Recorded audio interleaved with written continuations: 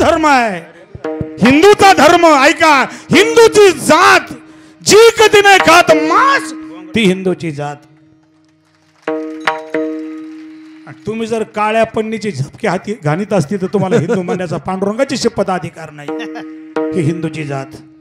हिंदू हिंद म्हणजे दू जो हिंसापासून दूर आहे तो हिंदू. पुन्हा सांगतो हिंद हिंद म्हणजे कोंबड्या बकऱ्याची हिंसा न करणारा हिंद. आणि तू म्हणजे कोणाचा द्वेष न करणारा त्याला हिंदू म्हणावं महाराज. आणि तुकोबारांच्या भाषेमध्ये माऊलीच्या भाषेमध्ये तुळशी माळ गळा. गोपी चंदन टिळा. हे धर्माचे पालन तुळशीची माळ पाहिजे. ही पहिली धर्माची पायरी आहे प्रवेश. कल्पना करा कोणा कोणाच्या गळ्यामध्ये माळी आहे माईला सोडून पुरुष मंडळीवर हात करा. माळकरी बरं का माळकरी. बिन माळकरी चुकून वर हात करायचा नाही. फक्त माळकरी. वा वा वा. करा खाली हात. भगवान परमात्मा तुम्हाला उद्धंड आयुष्य देऊ. आता ज्याच्या गळ्यामध्ये माळ नाही त्याला आपल्या आपल्या आई बापाची शपथ येते वर हात करायचा. बिन माळकरी वर हात करा. जर वर हात नाही केला ना मारुती राया तो रात्रीतून पाहून घे त्याला. बिन माळकरी बिन माळकरी करे. खुशालवर हात करता तुम्हाला काही वाटत नाही.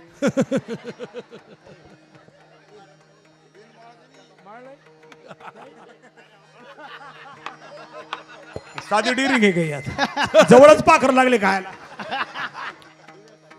आम्ही माळच घालून जाणार आहे तुमच्याकडून आज खुशालवर हात करता आणि कोणाच्या पुढवर हात करता याचं काही वाटत नाही तुम्हाला. एका खाटकाने म्हणावं मराठ्याला तू माळ घाल.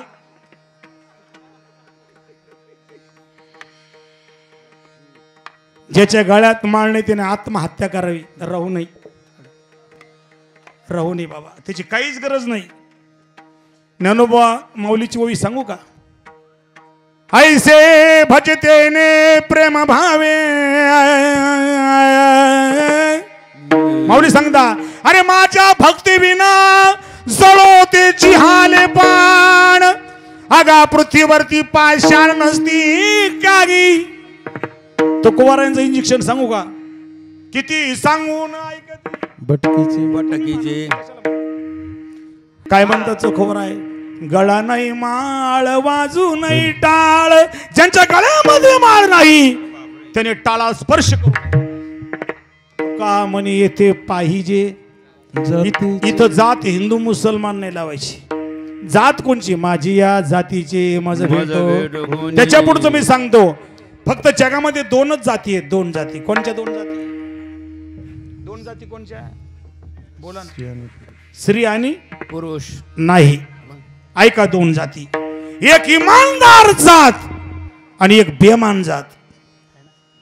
खडी खाणारी रोड खाणारी झोपडपट्टी खाणारी भारताला गिळणारी कडबा घोटाळा चारा घोटाळा सिमेंट घोटाळा ही बेमान जात हे लक्षात ठेवा महाराज. ही माणसाची जात नाही महाराज. माझं कीर्तन कसं स्पष्ट वागताय मी त्याच्यामुळे मी चालत नाही. तुम्ही बोलत का म्हणून गपचूप बसले तुम्ही? नऊ वाजता पाहिले मी तुमच्याकडे तुमचे असे चेहरे होते. दहा वाजले का असे? साडे दहा वाजले का असे? कायला एस टी लागत तुम्हाला कीर्तन तर नाही लागलं? फ्री चेहरे पाहिजे माणसाचे असे असे असं नाही पाहिजे. सुरत की उदास तर मोहरम की पैदास. म्हणजे तुमचे चेहरे चांगले आहे. म्हणजे काय काय तुम्ही पहा. महाराज ना किती जरी हसवला ना.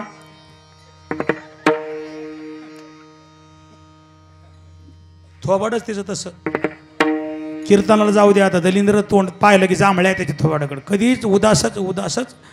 बायको म्हणली नवऱ्याला बारा वर्ष झाली मेल्या संग लग्न लावलं. तर एकदा पण हसला नाही हो. ते मला हसवणं देवाशपथ गुरुजी कीर्तनात चांगलं वाटत नाही. काय काय महाराज लोकांना हसायची सवय लावली तुम्हाला. कारण ते तसे म्हणून तुम्ही तसे तुमचं आणि त्यांचं एक आहे ना डिपार्टमेंट आम्ही हसलोच नाही ना. हो. जावई कीर्तनात आला की लोक वाह काय महाराज चांगला. अरे कीर्तनात हसू नये कीर्तनात माणसं रडली पाहिजे. सावध झालो सावध झालो. आलो जागरणा. तर त्या ठिकाणी बायको म्हणली नवऱ्याला काहो म्हणले माझ्या बापाच्या घरी काही जेवण भेटत नव्हतं का? तुम्ही हसतच नाही. त्याला हसताच येत नव्हतं त्याला जमतच नव्हतं हसायचं. मग तिनं डॉक्टरकडे नेलं हेगडे हॉस्पिटलमध्ये हेगडे वार. इंडिके सरला म्हणले सर सतीश सर सर यांना बघा ना म्हणले काय रोग आहेत. त्यांनी ट्रीटमेंट केली बा पण नाही जमलं. म्हणजे बाई घरी जाऊ दे. रामदेव बाबाचे क्लास लावले. काही काही गाढवाला बाबाचे क्लास हसायचे तरी जात हसत नाही. तुम्ही पहा ना सकाळी. चार वाजले गुरुजी.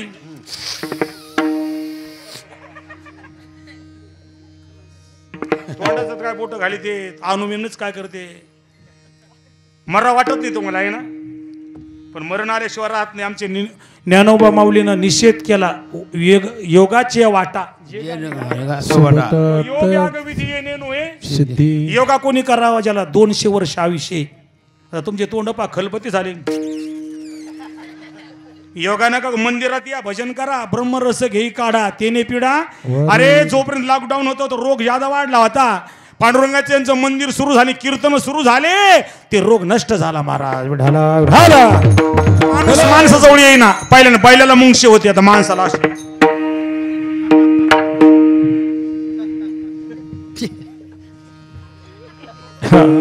अवघड समस्या आहे महाराज.